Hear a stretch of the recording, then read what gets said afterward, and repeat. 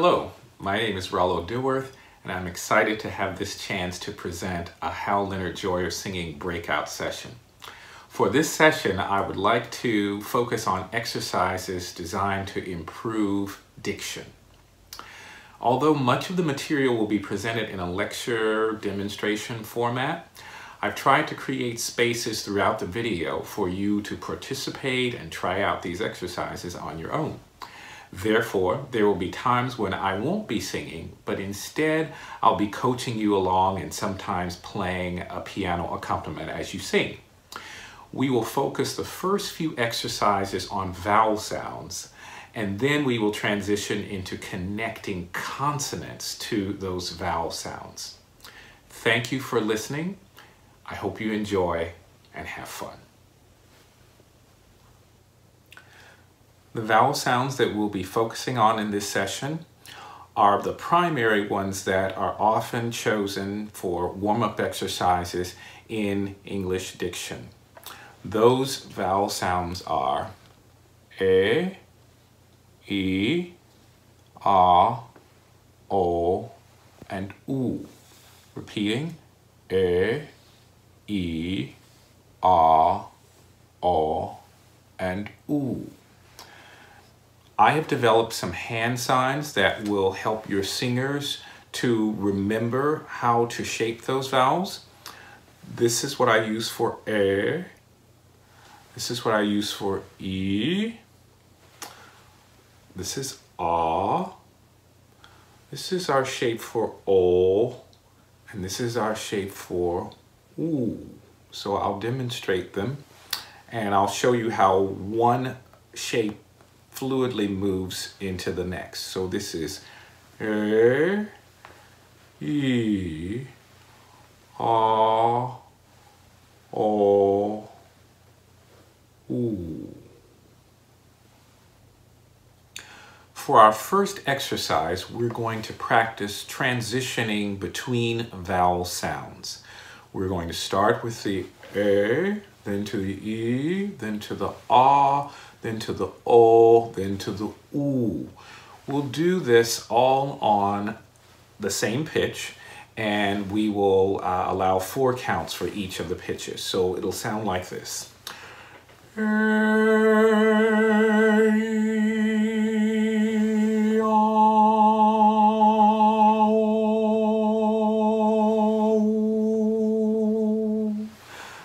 Piano here. One, two, here we go.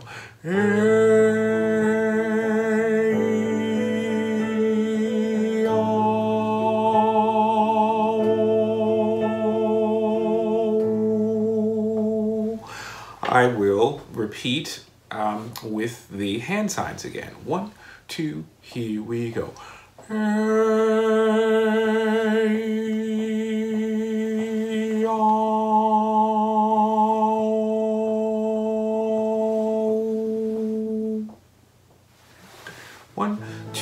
Your turn and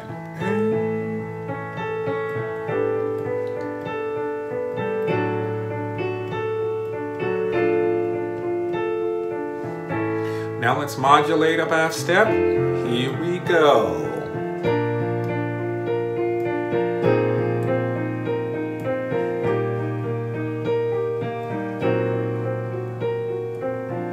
Let's go up another half step.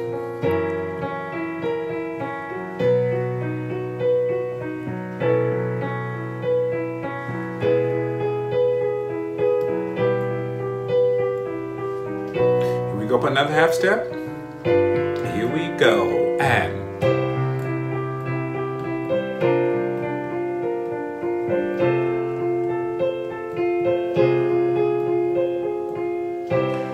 one more. Here we go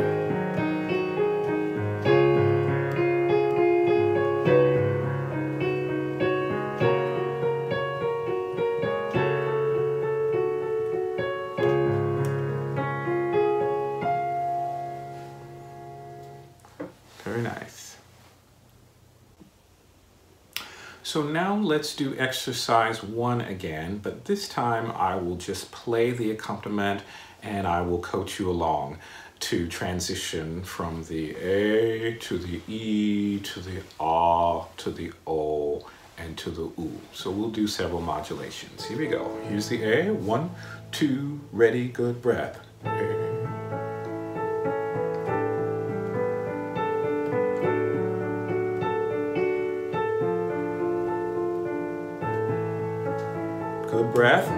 Here we A and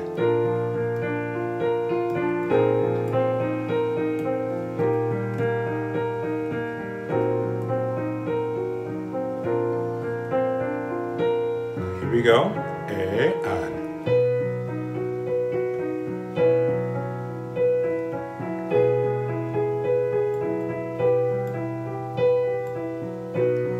Here we go up a half step. A.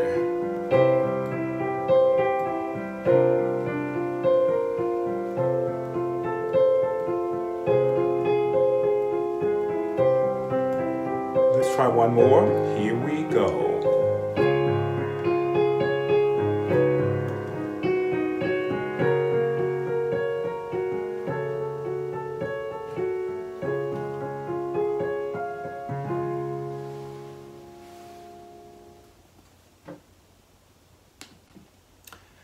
For the second exercise, we're going to sing the pitches so to do, descending.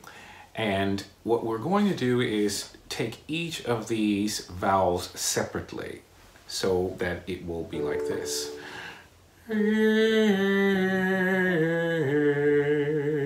We're going to keep modulating, and as we modulate, we're going to alternate and go to the next vowel. What we want to make sure that we do is we keep a very consistent space uh, so that we're not stretching here, but we're keeping the same amount of space no matter what vowel that we're going to transition to. Uh, we also want to make sure that, again, as we inhale, we want to think about that vowel shape. So let's try this one. A.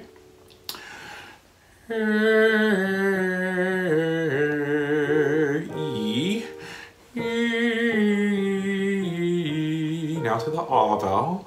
O. To the O vowel, breath. O. To the U vowel. O. Now back to the A. A. To the E vowel.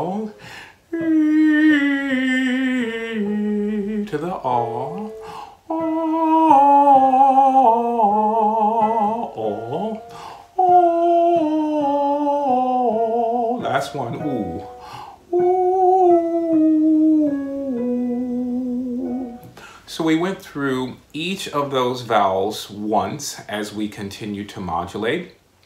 And what you'll also maybe notice, we start in the key of D major and we worked our way all the way up to the key of B major. So we had nine modulations there.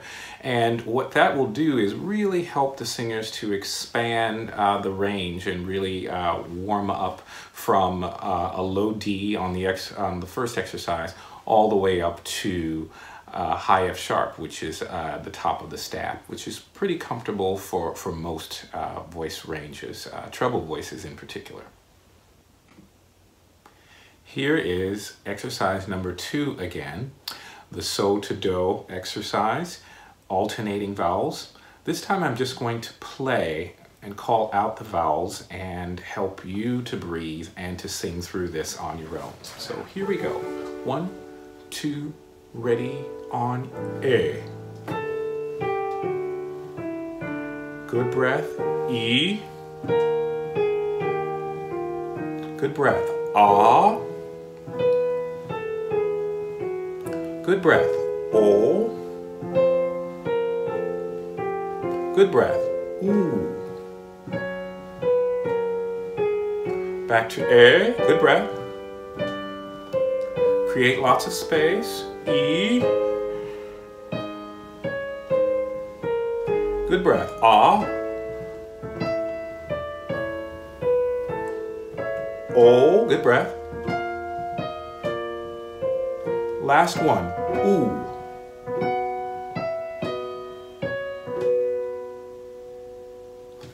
I hope that'll be helpful to you and to your students. For exercise number three, we're going to sing an arpeggio and we're going to transition from one vowel to the next as we sing through this arpeggio, like so. You'll notice that we probably need the most amount of space on the ah vowel. So however much space you're going to need for the ah to sing that highest pitch in the arpeggio on the, on the fifth, make sure that you create that space at the very outset. Therefore, you don't have to go, which is a, a, common thing that happens with a lot of young developing voices. So what we want to make sure that we do is create that space initially on the inhalation and then sing through and we won't have to make any sort of space adjustments here. For example, Notice I didn't have to drop my jaw more to get to the ah, okay? So let's try that. One, two, ready, and hey oh, good breath. Hey oh, hey oh,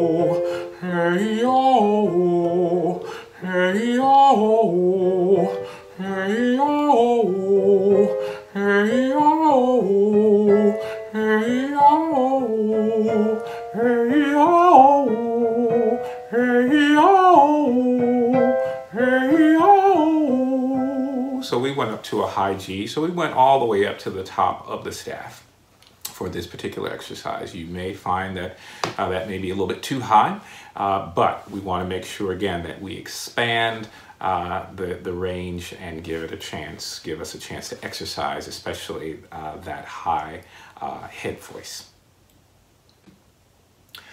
This is the accompaniment only for exercise three. Uh, this is where we're singing a transition between each of the vowels on an arpeggio, and I'm going to sort of coach you through it this time. Again, making sure that we keep the same uh, consistent space uh, as we sing through the arpeggio, especially keeping in mind that ah vowel that we're going to sing on the highest note within the arpeggio. So this is the hey oh, okay, one, two, ready, and breath, and breath,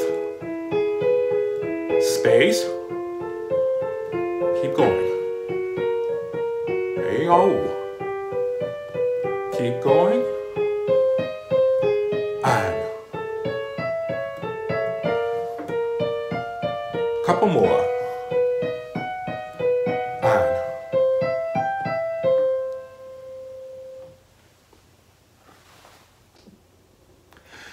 That we've had a chance to explore some of the common vowel sounds that we use in choral singing, let's now turn our attention to some consonants that we can connect to those vowel sounds. So just to review, we have this e, e, ah, o, and oo.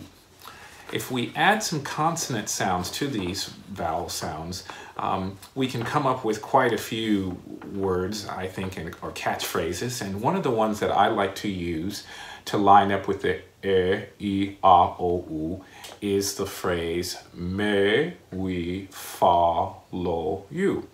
This phrase uh, can be found uh, as an exercise in my first Choir Builders book, and I'd like to uh, use some exercises from that book as well as some extension activities. So we're going to look carefully at how we can connect the m, w, f, l, and y to these vowels to come up with me, we, fa, lo, you.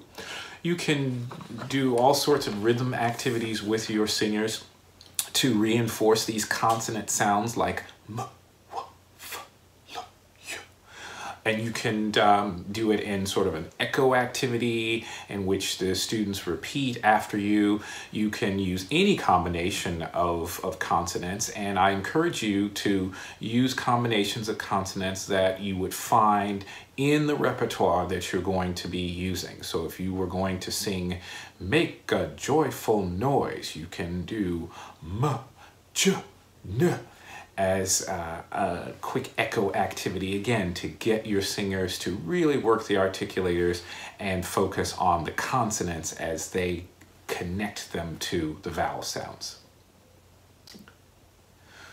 For this next exercise, exercise number five, we will sing the me, we, fa, lo, you phrase, and we'll do it as a descending so to do exercise and let's choose uh, staccato articulations for now. And what that will do is really allow your singers to sing those consonants with clarity, but also to sing pitches with clarity. So if you want to make sure that singers are singing accurately with good intonation, use a staccato exercise where there's very little wiggle room to sort of negotiate those those pitches. Okay, here we go. So we'll sing May we follow you. Here we go. One, two, ready, and May we follow you. We'll modulate. May we follow you. Keep going. May we follow you. Keep going. May we follow you. Nice. May we follow you. Keep going. May we follow you. Keep going. May we follow you. And may we follow you. May we follow you. May we follow you. Last one.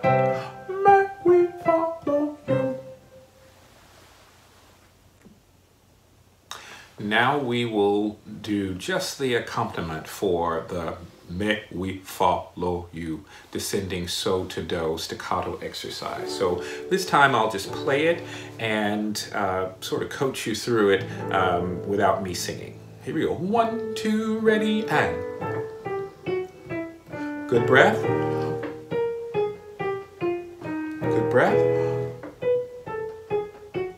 Nice staccato. Breath.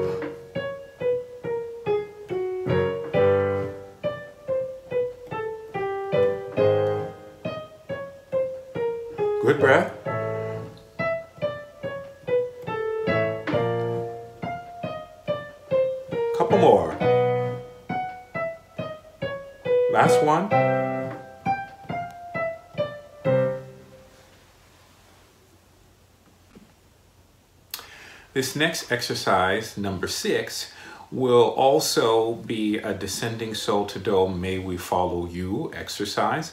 But instead of a staccato articulation we're now going to go for a lengthier legato articulation in which we put four beats on each one of the pitches like this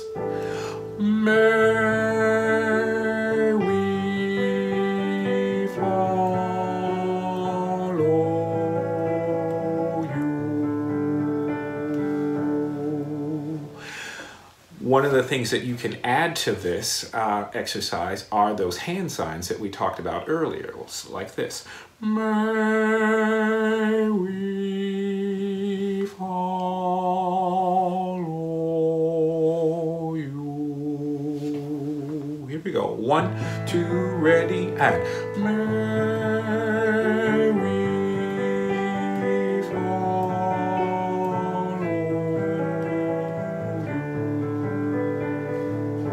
half step.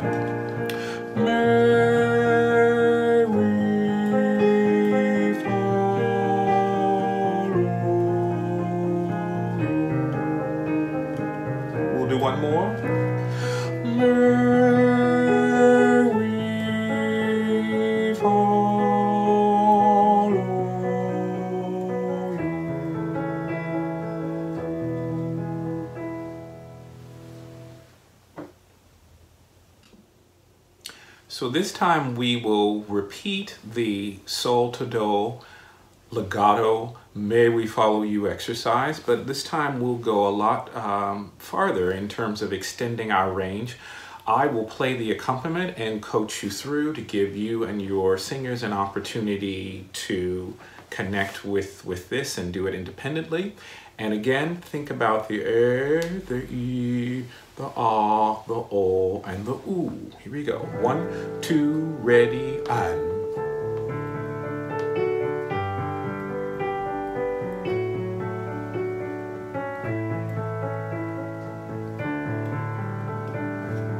Take a breath, modulate, and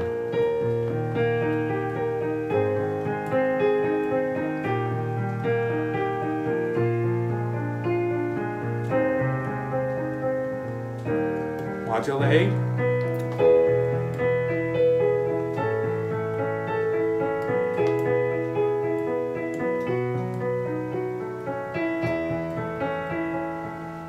Modulate and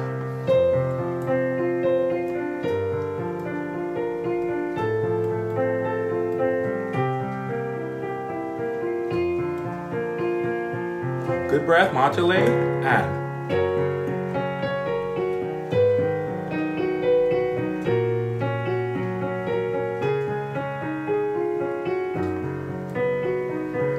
Modulate, good breath, and.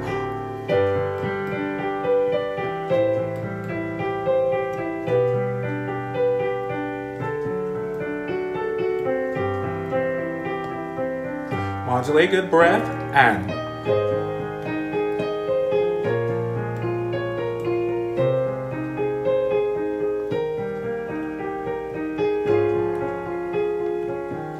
Let's do a couple more.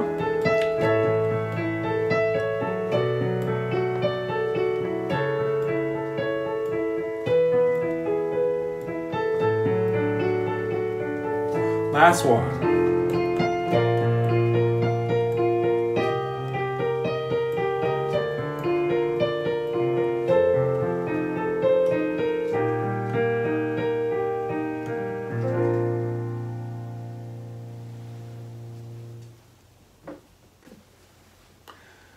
Next exercise is a diction exercise I created and hopefully it'll appear in my next Choir Builders book and it's simply built on the alphabet, the ABCs. So I'm going to chant the letters to you in rhythm as I snap, and then as I tap, that will be your opportunity to respond and to sort of fill in the blanks. So we get to do a little bit of call and response here. So here's our beat, and repeat after me. A, B, C, D, E, F, G, your turn.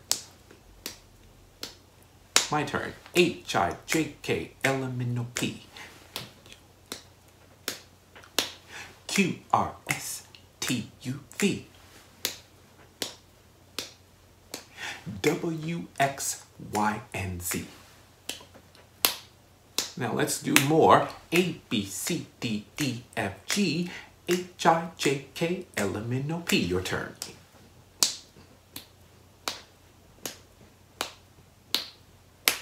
Q R S T U V W X Y and Z.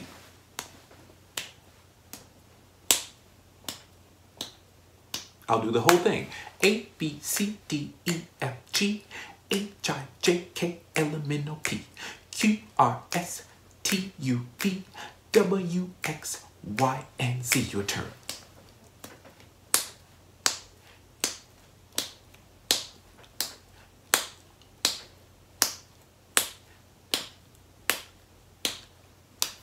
This is a really good exercise for helping your singers articulate consonants with clarity. That A, B, C, D, E, F, G, H, I, J, K, L, M, N, O, P. That kind of action really gets the articulators going and it will help your singers to work toward precision in articulating and clearly communicating those consonants. For this new diction song, based on the ABCs, we're going to use the same sol to do pattern that we've been using for some of our other exercises. And just to recap, we have this A, B, C, D, E, F, G, H, I, J, K, L, M, N, O, P, Q, R, S, T, U, V, W, X, Y, and Z. We want to keep that nice crisp articulation and the melody goes like this. A, B, C, D, E, F, G, H, I, J, K, L, M, N, O, P, Q, R, S, T, U, V, W, X, Y, and Z. Okay? Let's try it together again. One, two, here we go. A, B, C, D, E, F, G, H, I, J, K, L, M, N, O, P, Q, R, S, T, U, V, W, X, Y, and Z. Your turn.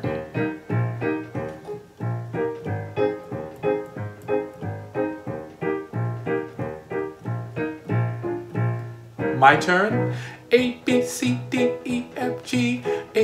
J, K, L, M, N, O, P, Q, R, S, T, U, V, W, X, Y, and Z. Your turn.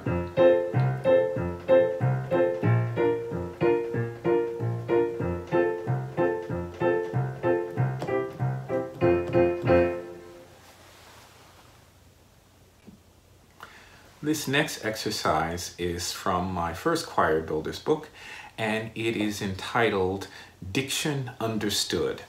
It's another exercise that is designed to really work the articulators and to get singers to crisply articulate uh, those consonants. So it goes like this. If I want my diction to be clear and understood, lips and teeth and tip of tongue will help it to be good. I often will teach this as a call and response activity. So something like having the students keep a beat and then repeating after me. If I want my diction to be clear and understood, your turn.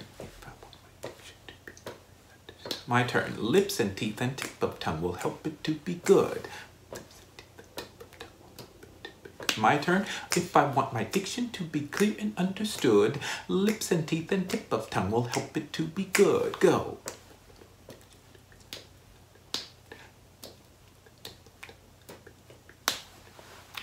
So this piece starts in the key of D major. And it goes like this. The melody goes, If I want my diction to be clear and understood, lips and teeth and tip of tongue will help it to be good. I'll do it again. If I want my diction to be clear and understood, lips and teeth and tip of tongue will help it to be good. I'll do it again. If I want my diction to be clear and understood, lips and teeth and tip of tongue will help it to be good.